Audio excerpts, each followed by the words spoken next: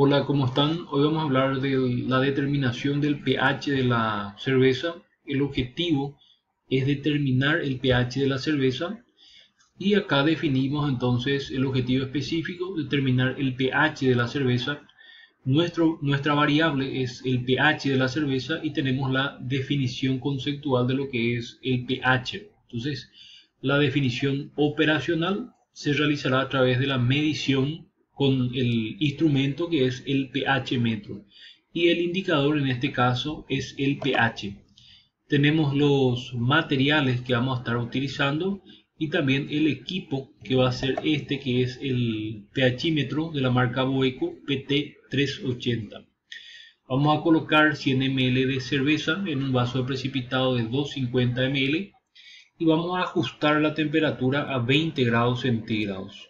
Posteriormente vamos a introducir el pHímetro o los electrodos del pHímetro en la cerveza, esperar un minuto y realizar la lectura.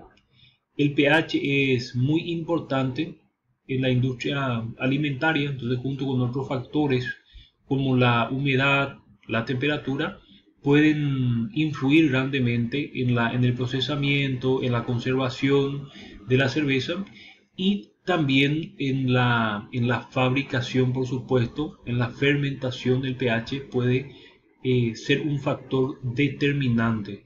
Entonces, para la calidad de las bebidas es importante controlar tanto el pH del agua, de los jarabes, del zumo, y juega un papel crucial en la elaboración entonces de la cerveza y debe ser controlado en, en todas las etapas del proceso de, de elaboración con el fin de garantizar un producto que tenga buenos estándares cualitativos. Entonces, el valor de pH de algunos ingredientes tiene que ser controlados para que la fermentación sea favorable.